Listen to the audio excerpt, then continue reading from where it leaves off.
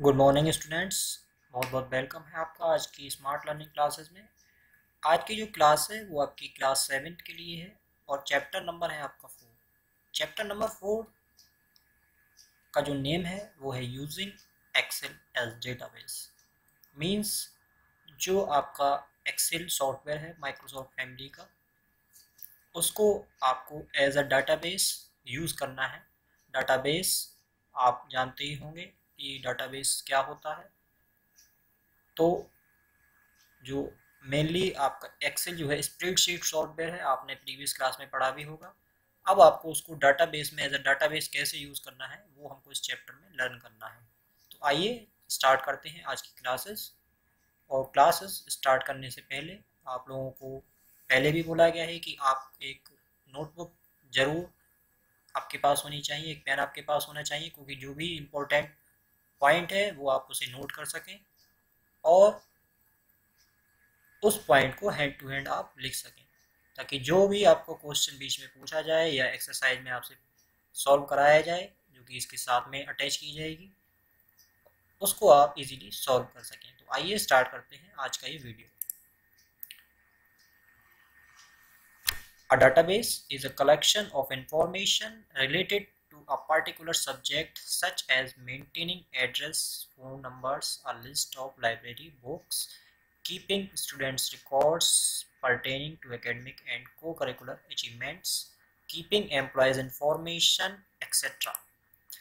तो जो डाटाबेस होता है वो आपका कलेक्शन होता है इंफॉर्मेशन का रिलेटेड टू पर्टिकुलर सब्जेक्ट जो भी आपका सब्जेक्ट है उससे रिलेटेड आपकी इंफॉर्मेशन होगी फॉर एग्ज़ाम्पल अगर आपकी एड्रेस बुक आपको बनानी है तो एड्रेस बुक के अंदर कौन कौन सी इंफॉर्मेशन होगी जो डाटा को मेंटेन करनी होगी? नेम होगा स्टूडेंट नेम होगा एड्रेस होगा सिटी होगा, उनका पोस्टल कोड होगा फ़ोन नंबर होगा ईमेल आईडी होगा तो एड्रेस बुक के अंदर आपको इतने सारे जो रिकॉर्ड हैं, वो आपको सेटल करने हैं। तो a database is a collection of information relate to related to a particular subject simple आपको यही लर्न करना है कि a database is a collection of information related to a particular subject आगे चलते हैं।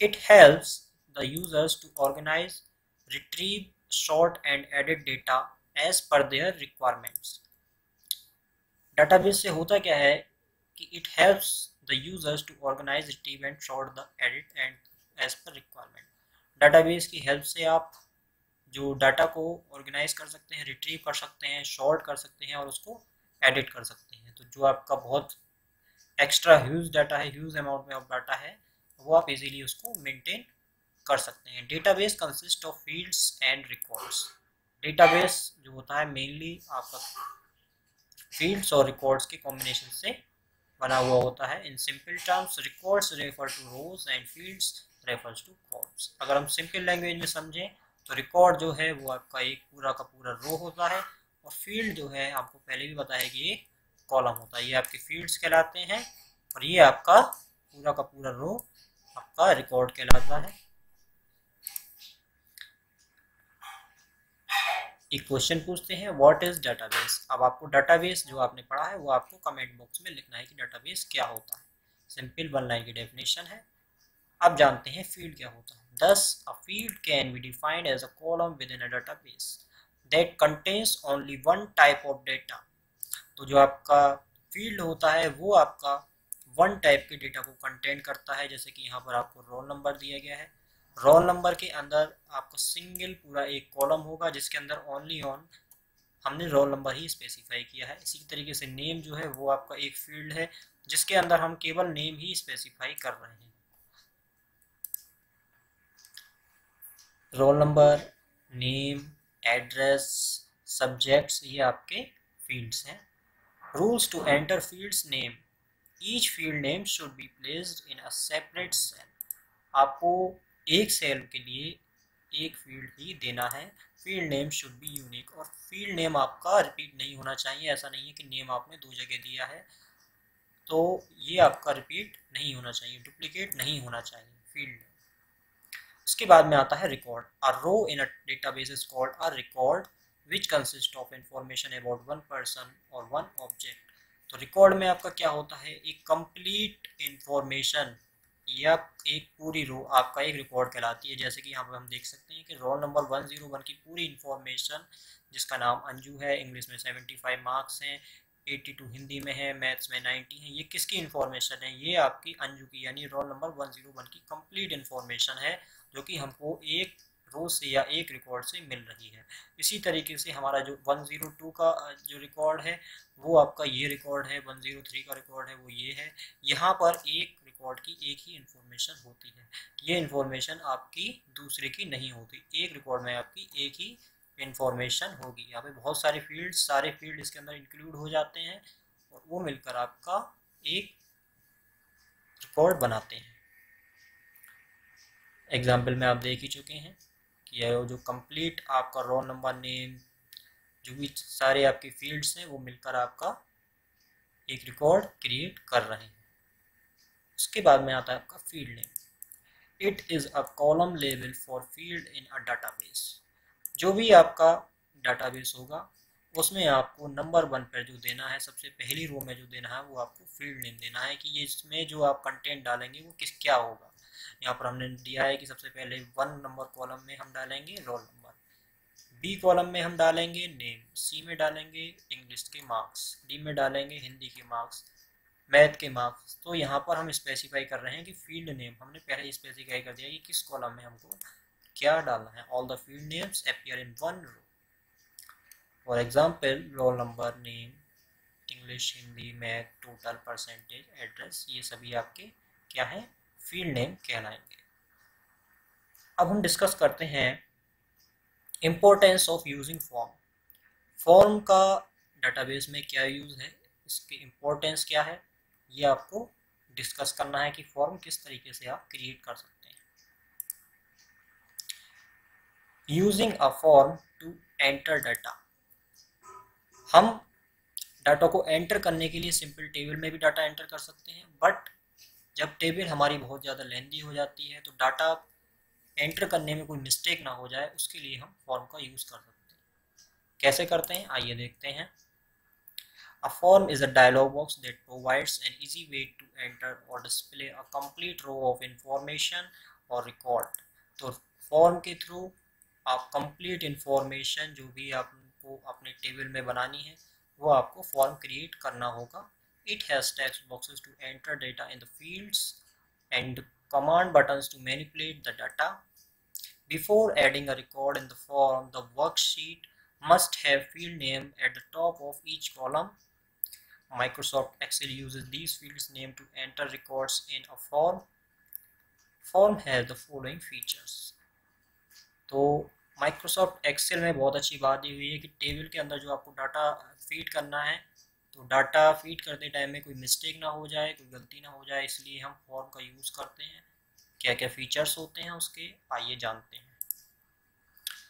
It displays one record at a time table में क्या है कि सारा हमको सारा कुछ एक साथ दिखाई देगा, सारा जितना भी हमारे रिकॉर्ड है, लेकिन फॉर्म में हमको एक रिकॉर्ड एक बार में ही दिखाई देता है। It can be use to add new records and change existing records इसमें आप चेंज भी कर सकते हैं एडिट भी कर सकते हैं मॉडिफाई भी कर सकते हैं।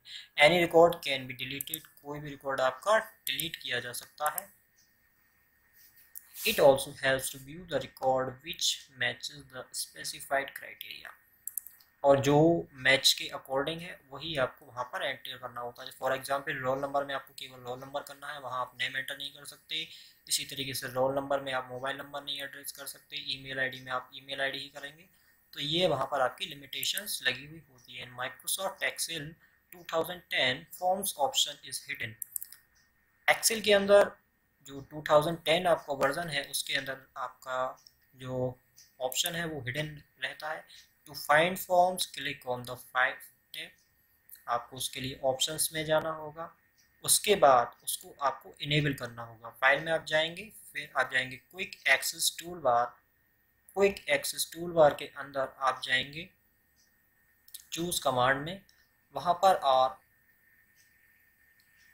ये जो आपको ऑप्शन कमांड्स नोट ये आपको सिलेक्ट करना है। उसके बाद आपको वहाँ पर फॉर्म सिलेक्ट करना है। उसके बाद में आपको उसको ऐड कर देना। है ऐड के बाद आप ओके प्रेस करेंगे तो आपका जो है यहाँ पर क्विक एक्सेस में आपका फॉर्म जो है वो ऐड हो जाएगा। 2010 के अंदर आपका जो है फॉर्म जब आप फ़र्स्ट टाइम इंस्टॉल करते हैं तो आपको ये ऑप्शन नहीं मिलता है। इसलिए आपको पहली बार जब आप कर रहे हैं तो आपको इसको अपने सॉफ्टवेयर में इसको एक बार इनेबल कर देना है ताकि ये आपका फॉर्म ऑप्शन आपको एक्सेल के अंदर मिल जाए। तो बहुत सिंपल है, वो आप इजीली कर सकते हैं। Adding new records in a form अब न्यू रिकॉर्ड्स किस तरीके से ऐड किए जाते हैं, वो देखना है। Using the data form we can add a new record data form की हेल्प से हम नए रिकॉर्ड को एंटर करेंगे। Follow these steps to enter new record click on cell A two A two पे आप क्लिक कर देंगे। उसके बाद आप जाएँगे क्विक एक्सेस टूल बार में फॉर्म पर क्लिक करेंगे। वहाँ पर आप देखिए यहाँ पर जो जो आपने फील्ड्स लिए हुए हैं, वो आपका आ जाएगा। Roll number name English Hindi math total percentage ये आपका ये फॉर्म बनकर आ गया जो भी आपने लिया है। सिंपल जो आपने रिकॉर्ड होगा, वो आपके फ़र्स्ट स्टूडेंट का आ जाएगा। अगर आपको सेकंड स्टूडेंट का देखना है तो find next find next previous का देखना है तो फाइंड प्रीवियस आपको न्यू रो बनानी है तो आप न्यू पर क्लिक कर देंगे। यहाँ पर दिखा रहा है वन ऑफ़ सेवन यानी आपने सात रिकॉर्ड बना रखे हैं, यानी सात स्टूडेंट्स का डाटा आपने एंटर कर रखा है। न्यू अगर आपको बनाना है तो न्यू डाटा कर सकते हैं। आप इसको वन ज़ीरो वन को डिलीट करना है तो आप डिलीट बटन पर प्रेस कर सकते हैं। नया रिकॉर्ड देखना है one two three four five तो वो आप देख सकते हैं। To add a new record click on new new पर क्लिक करिए। वहाँ पर आपका, आपको नया रोल नंबर आप कर सकते हैं और नया रिकॉर्ड अपना एंटर कर सकते हैं।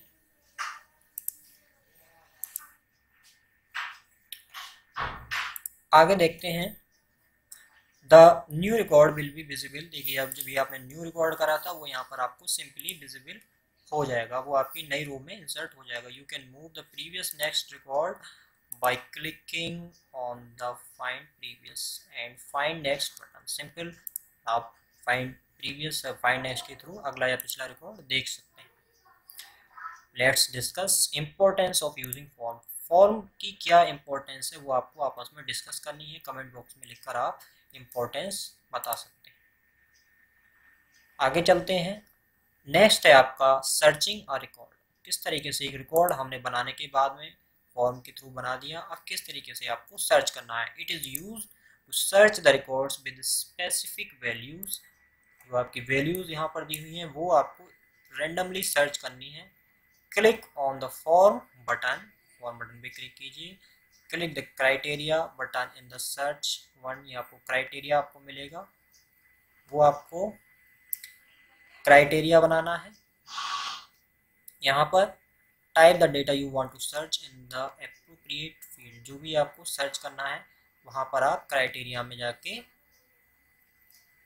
एंटर कर दीजिए और आप एंटर करते ही आपका जो उस रिकॉर्ड से मैच जो भी होगा, वो आपका शो होने लगेगा। जैसे कि हमने 104 कर दिया था टेबल में 104 रोल नंबर पर जो भी डाटा होगा, वो यहाँ पर आपको शो होने लगेगा कि उसका नेम क्या है, उसका इंग्लिश में मार्क्स कितना है टोटल और परसेंटेज उसका क्या है। जो भी आपका डाटा होगा वो वहाँ पर शो होने लगेगा। उस अदरवाइज़ अगर नहीं है तो वो डाटा वहाँ पर नहीं शो होगा। नेक्स्ट है आपका शॉर्टिंग डेटा डाटा को सर्च करना सीख लिया डाटा हमने एंटर करना सीख लिया। अब हमको डाटा को शॉर्ट भी करना है। यानी जो रोल नंबर आपका सीक्वेंस से अल्फ़ाबेटिकली आप लगा सकते हैं नंबर वाइज आप लगा सकते हैं तो वो मीन्स आपको लगाना है। असेंडिंग ऑर्डर या डिसेंडिंग ऑर्डर में आप वर्कशीट में डाटा अपना शॉर्ट कर सकते हैं। On the basis of rows और columns on the basis of text, number, combination of text, members dates etc etc once the data is organized, it becomes easy to work with अगर आपका एक बार data organise हो जाता है तो आपको search करने में भी आसानी होगी और आपको देखने में भी, उसको ऑर्गेनाइज करने में आसानी होगी। अल्फ़ाबेटिक आपने बना दिया रोल नंबर वाइज आपने बना दिया तो आपको इजीली बहुत हैंडल करना आपको इजी हो जाएगा।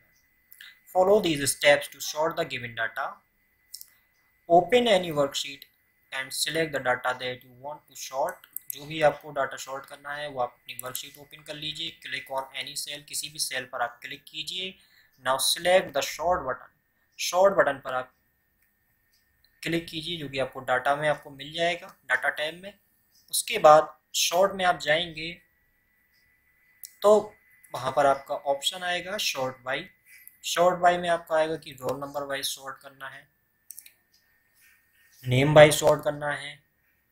शॉर्ट आपको सेल ऑर्डर में करना है, कलर में चेंज करना है या क्या आपको स्पेसिफिक दिखाना है ड्रॉप डाउन आप देख सकते हैं। और ऑर्डर आपको करना है कि ए टू जेड रखना है या जेड टू ए रखना है।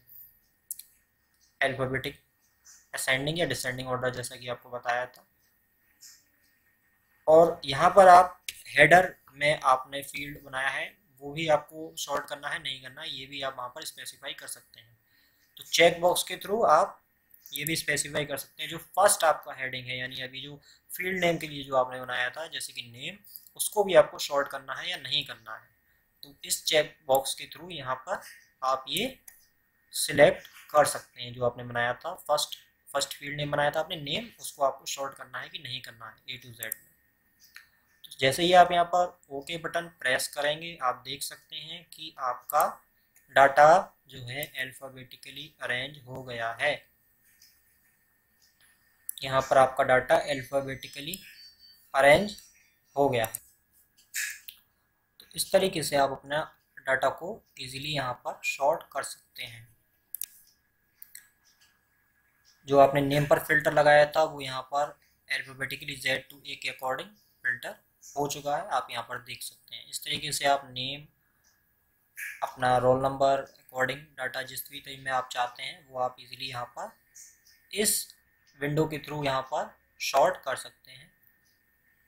और यहाँ पर एड लेवल और जब आप क्लिक करेंगे तो अलग अलग टाइप से आप यहाँ पर फ़िल्टर लगा सकते हैं। नेक्स्ट में आपने रोल नंबर पर लगा दिया, वैल्यूज़ पर लगा दिया स्मॉलेस्ट टू लार्जेस्ट और लार्जेस्ट टू स्मॉलेस्ट देन आपने ओके का बटन प्रेस कर दिया। तो आप यहाँ पे देखिए, जो आपका डाटा है वो फ़िल्टर हो गया है। नेक्स्ट है आपका filtering data Microsoft Excel provide several ways to analyse data in a list बहुत तरीके से आप डाटा को फ़िल्टर कर सकते हैं। इस फीचर के थ्रू होता क्या है कि the filter feature allow you to see only those record that you want to display जिस रिकॉर्ड को आप डिस्प्ले करना चाहते हैं, केवल वही रिकॉर्ड आपका डिस्प्ले होगा। अदर डाटा आपका हाइड हो जाएगा। सपोज़ आपकी बहुत बड़ी टेबल है, उसमें आप चाहते हैं केवल उन्हीं स्टूडेंट्स का डाटा आपको दिखाई दे, जो कि, जिनके मार्क्स सिक्सटी परसेंट प्लस हैं तो आप वहाँ पर अपना डाटा को फिल्टरिंग लगा देंगे और अदर जिनके मार्क्स सिक्सटी परसेंट से बिलो हैं, उनका डाटा हाइड हो जाएगा अदर डाटा आपको डिस्प्ले रहेगा। तो ये वहाँ पर आपको फ़िल्टर की नीड होगी फ़िल्टर डाटा आपको यूज़ करना पड़ेगा। It hides the rest of data temporarily from the view आपको डाटा डिलीट नहीं होगा डाटा आपका केवल हाइड हो जाएगा। You can filter a list to display record that meet specific criteria by using auto filter auto filter की help से भी आप कमांड यूज़ कर सकते हैं और डाटा को फ़िल्टर कर सकते हैं। सिलेक्ट एनी सेल यहाँ पर हम एग्ज़ाम्पल के थ्रू बता रहे हैं कि यहाँ पर आपकी टेबल दी हुई है। सिलेक्ट एनी सेल कोई भी सेल आप सिलेक्ट कर लीजिए, जिसमें आपको फ़िल्टर लगाना है। आप फ़िल्टर पर जाइए फ़िल्टर पर क्लिक कर दीजिए। उसके बाद यहाँ पर स्मॉल एरोज हर एक फ़ील्ड पर आपका अप्लाई हो जाएगा। वहाँ पर आप चाहते हैं कि जैसे ही आप वहाँ पर क्लिक करेंगे, आप वहाँ पर आपकी कंडीशंस ओपन हो जाएँगी। जब आप स्मॉल बटन पर क्लिक करेंगे तो वहाँ पर आपकी कंडीशन ओपन हो जाएँगी कि आपको शॉर्ट स्मॉलेस्ट टू लार्जेस्ट आपको शॉर्ट डाटा पहले रखना है, बड़ा डाटा बाद में रखना है, या आपको कलर के थ्रू शॉर्ट करना है। इस तरीके से आप अपना डाटा को फ़िल्टर कर सकते हैं। वहाँ पर आपको कुछ चेक बॉक्सेस भी मिलेंगे और सिलेक्ट ऑल का भी ऑप्शन मिलेगा।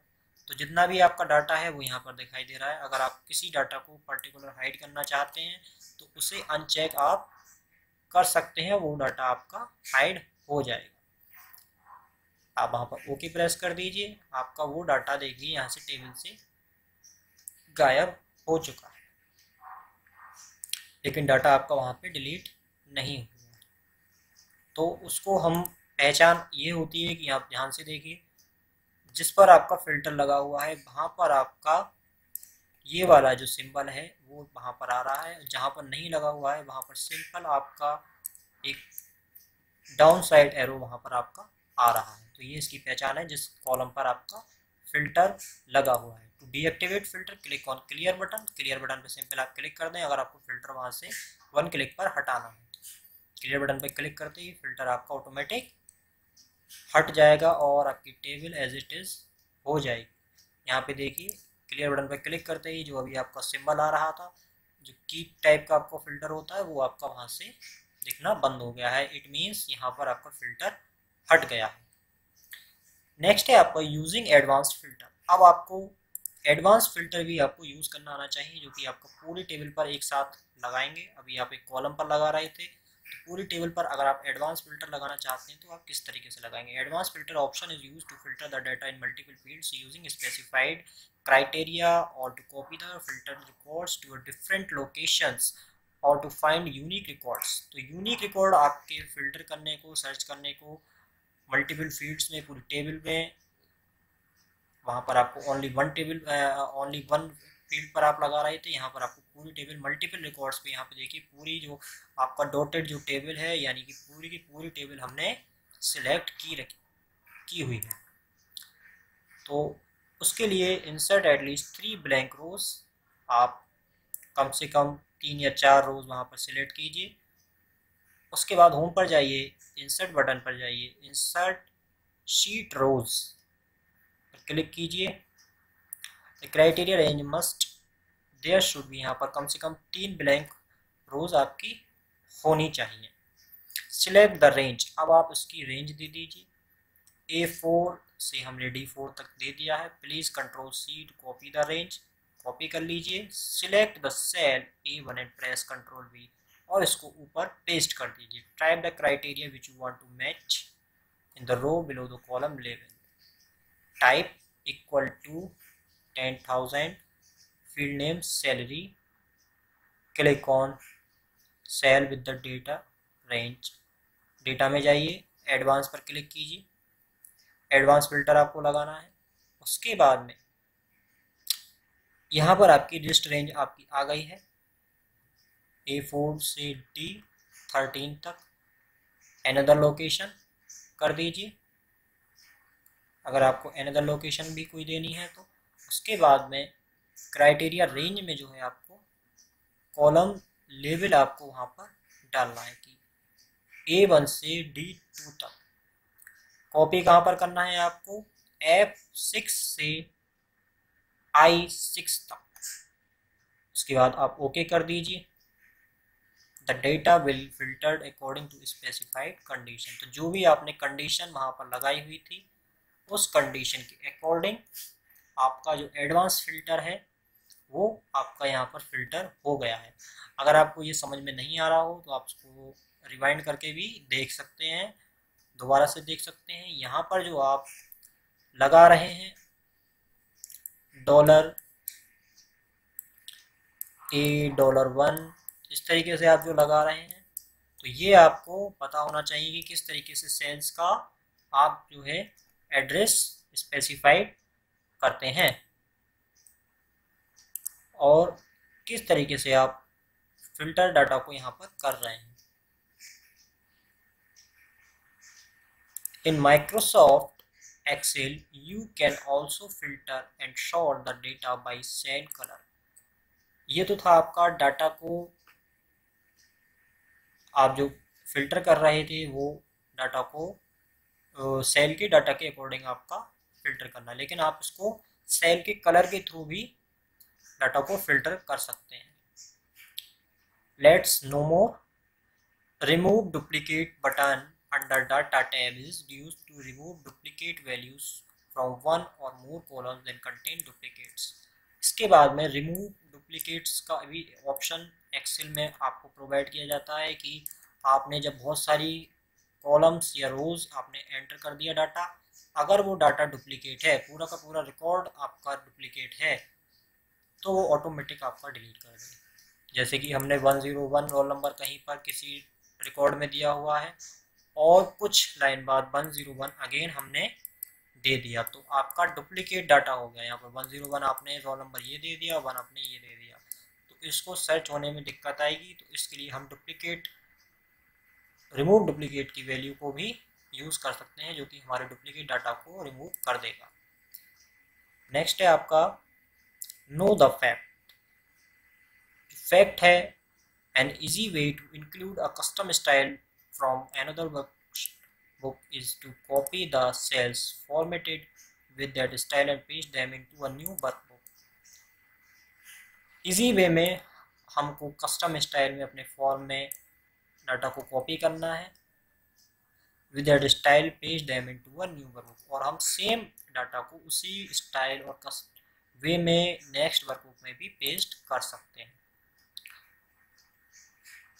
एक्सेल में और ज़्यादा दिया गया है कि conditional formatting is the feature in Excel that sets a cell format according to conditions that you specify using this option you can change the font colour styling etcetera of the data in the data selected cells. Select home conditional formatting in style group and specify the condition as needed.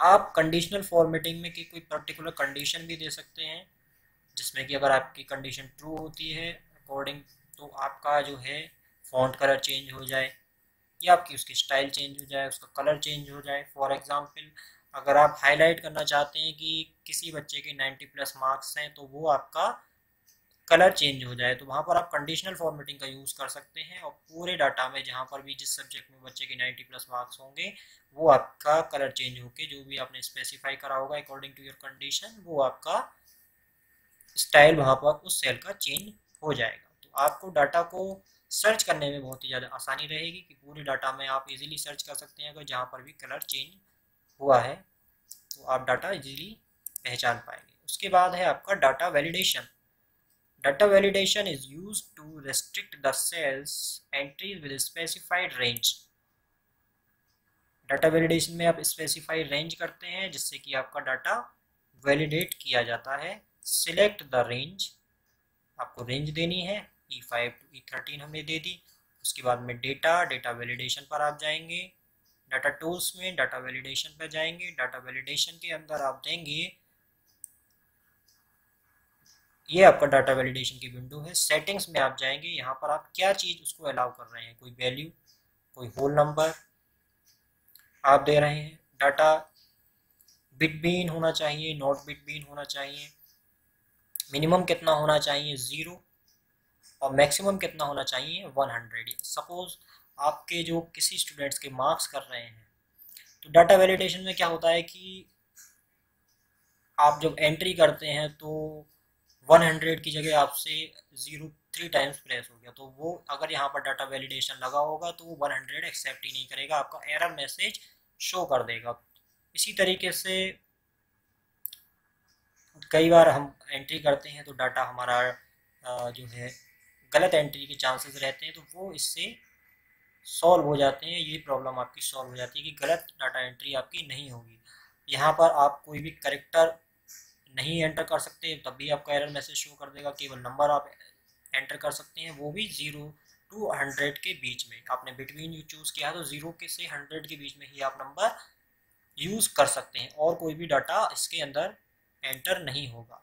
Click on input message input message में आप देख सकते हैं कि ये data अगर आपका validation है तो आप यहाँ पे मैसेज शो कर सकते हैं कि डाटा सही एंटर किया है तो क्या होगा? और गलत एंटर करेंगे तो क्या होगा? यहाँ पर हम देखिए वैल्यू लगा रहे हैं इस greater than equal to zero zero के बराबर या ज़ीरो से बड़ी होनी चाहिए, और सौ से छोटी या सौ के बराबर होनी चाहिए। सौ से बड़ी वैल्यू नहीं होनी चाहिए। यहाँ हमने डाटा वैलिडेशन लगा ली एरर अलर्ट भी हम कर सकते हैं कि एरर मैसेज क्या आएगा। इनपुट इज़ रॉन्ग अगर आप गलत डाटा एंटर करेंगे तो इनपुट इज़ रॉन्ग मैसेज आपको डिस्प्ले होगा, उसके बाद आप ओके प्रेस कर दीजिए तो आपका जो है डाटा सेट हो जाएगा डाटा वैलिडेशन यहाँ पर हम वन ज़ीरो फाइव आपको एंटर करके दिखा रहे हैं तो वन ज़ीरो फाइव के बाद जैसे ही आप एंटर प्रेस करेंगे। तो आपका देखिए मैसेज यहाँ पर डिस्प्ले होगा इनपुट इज़ रॉन्ग रीट्राई दोबारा से डाटा आपको एंटर करना है डाटा आपका नहीं लेगा। सिंपल बता दिया है आपको। इस तरीके से आपका डाटा वैलिडेशन वर्क करता है। 110 पर भी आपका ये एरर मैसेज शो होगा। इसी तरीके से ज़ीरो से आप माइनस में वैल्यू एंटर करेंगे, तब भी आपका एरर मैसेज शो होगा। नंबर आप एडिट कैरेक्टर्स आप एडिट करेंगे तो आपका एरर मैसेज शो होगा। Adding subtotal in database किस तरीके से आप सब टोटल कर सकते हैं? Subtotal feature in a database helps.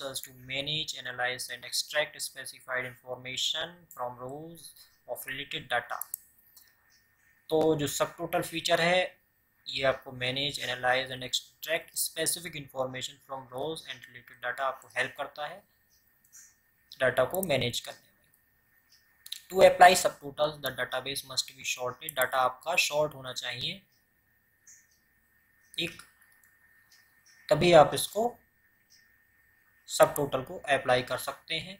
Let us learn the use of this feature through the given table इस टेबल के थ्रू हम इसके फीचर को समझने का प्रयास करेंगे।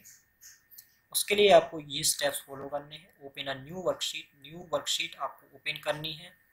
यहाँ पर आपको कुछ फिगर्स दी हुई हैं। आप यहाँ पर टेबल छोटी सी देख सकते हैं। Select any cell within the range and choose data tab सब आपको टूल्स में जाके डाटा में जाके सब टोटल चेक करना है। उसके बाद आपको किस चीज़ का सब टोटल करना है? सेल का सब टोटल करना है serial number sales executive month ये चीज़ आपको करनी है। यहाँ पर हम मंथ चूज़ कर रहे हैं। To calculate the sum of sales select sum function sum करना है काउंट करना है। जिस भी फ़ंक्शन को आप चूज़ करेंगे सिलेक्ट करेंगे, वो आपका हो जाएगा। उसके बाद में सब टोटल आपको किसका करना है? सेल का सब टोटल करना है तो आप यहाँ पर सिंपल सेल चूज़ करेंगे। Replace the current subtotal ये आपको अनचेक कर देना है। समरी ब्लू डाटा ये आपका चेक रहेगा। दोस्तों option over the existing subtotal अगर आप इसको ऑन कर देते हैं तो आपका जो पुराना जो सब टोटल है, उसको रिप्लेस कर देगा, जो कि ऑलरेडी कैलकुलेट आपने किया है। उसके बाद में जो समरी बिलो डाटा है, इसको मार्क बाय डिफ़ॉल्ट आपका रहता है। ये ऑप्शन आपका total below data of each month ये आपको ईच मंथ का समरी आपको बताता है। उसके बाद आपको ओके बटन प्रेस कर देना है तो यहाँ पर आप देख सकते हैं कि अक्टूबर में यहाँ पर आपका, हर मंथ का आपका सब टोटल आपका आ गया है। कि इसमें यहाँ पर अक्टूबर में, यहाँ पर रमन ने, मोहित ने और प्रशांत ने इतनी इतनी सेल की थी। टोटल सेल कितनी हुई, यानी सब टोटल कितना हुआ तो वो आपका यहाँ पर कैलकुलेट कर दिया है। आपको अलग अलग टोटल नहीं करना। इसी तरीके से प्रशांत, मोहित और रमन ने कितनी सेल की थी नवंबर मंथ में, वो यहाँ पर आपका सब टोटल कर दिया है। और इन दोनों का टोटल मिला के जो आपका ग्रांड टोटल है, वो आपका यहाँ पर आ गया है। Display as shown in figure. आप इस टेबल में देख के बहुत ही आसानी से समझ सकते हैं कि देखिए, इतना ये एक पार्ट हो गया है और इतना ये एक पार्ट हो गया है। किस बेसिस पे हुआ है? मंथ के बेसिस पर। मंथ के बेसिस पर हमने इसको शॉर्ट करके डाटा को सब टोटल कर दिया। हम नेम के बेसिस पर भी कर सकते थे। जहाँ पर नेम के बेसिस पर करते तो यहाँ पर कितने होते? तो यहाँ पर तीन पार्ट होते। एक रमन का होता, एक मोहित का होता, एक प्रशांत का होता। जब यहाँ पर तीन पार्ट होते कि रमन ने कितना सेल किया, मोहित ने कितना सेल किया और प्रशांत ने कितना सेल किया। इसको भी आप करके देख सकते हैं। अलग अलग तरीके से। यहाँ पर आपको नोट करना है to remove all the subtotals in your worksheet click the cell within the range and select data subtotal उसके बाद में आपको सिलेक्ट करना है यहाँ से रिमूव ऑल अगर आपको अप्लाई करना है तो सिंपल आप चूज़ करके ओके कर दीजिए। अगर आपको वहाँ से हटाना है, सारे फिल्टर्स सब टोटल हटाना है तो रिमूव ऑल कर दीजिए। सारा डाटा आपका देखिए, पहले जैसा टेबल आपका हो जाएगा। बहुत ही सिंपल है, बहुत ही आसान है। उसके बाद में नेक्स्ट है analysing data with pivot table pivot table के थ्रू हम डाटा को एनालाइज किस तरीके से करेंगे, वो हमको देखना है। पाइवोट टेबल एक बहुत ही इंपॉर्टेंट टर्म है, ये आपको ज़रूर नोट करना है और लर्न करके, अच्छे से याद करके रखना है। Pivot table is a powerful tool for consolidating summarising and presenting data data को कंसोलिडेट और प्रेजेंट करने के लिए पाइवोट टेबल बहुत ही इफ़ेक्टिव टूल है। Follow these steps to create pivot table pivot table किस तरीके से क्रिएट करते हैं? आइए देखते हैं। यहाँ पर आपकी एक टेबल दे रही हुई है। Enter the given data in the new worksheet and select the entire data पूरी टेबल आपको सिलेक्ट करनी है। उसके बाद में आप जाएँगे इंसर्ट बटन पे और यहाँ पर आपको मिलेगा पाइवोट टेबल पाइवोट टेबल पे सिंपल क्लिक क्लिक कर देना है। पूरी टेबल जो भी आपने रेंज दी हुई है, पूरी शीट के साथ में उसका एड्रेस आ जाएगा। उसके बाद में आपको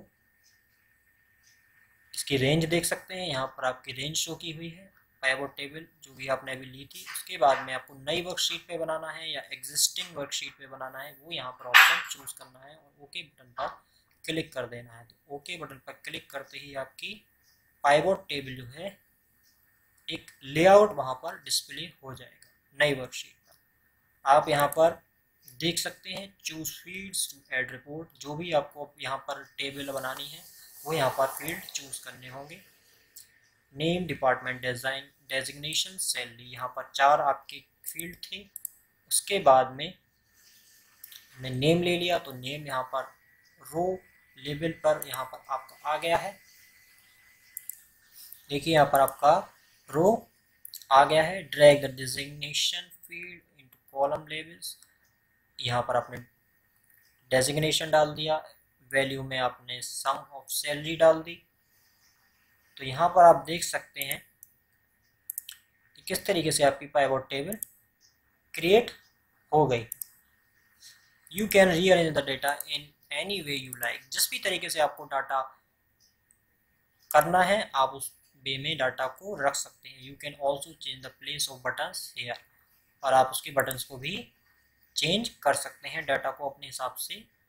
चेक करके डाटा को ड्रैग एंड ड्रॉप करके अपने पाइवट टेबल के अंदर उठा के ला सकते हैं। If you don't like placement click undo button undo button press करके आप डाटा के वापस वापस भी जा सकते हैं। तो ये अब तक आपका कंप्लीट चैप्टर आपका फिनिश हो गया। और उनको एक बार रिवाइंड करना है कि क्या क्या हमने आज सीखा। तो आज जो हमने सबसे पहले सीखा था a database is a collection of information related to a particular subject जो आपका डाटाबेस है पर्टिकुलर आपकी इंफॉर्मेशन होती है पर्टिकुलर सब्जेक्ट पर। A column within a database that contains only one type of data is called field one type का जो data होगा, वो आपका फ़ील्ड कहलाएगा, जो कि आपकी कॉलम के अंदर बना हुआ होगा। एक कॉलम का मतलब है एक field a row in a database is called a record, which consists of the information about one person or one object.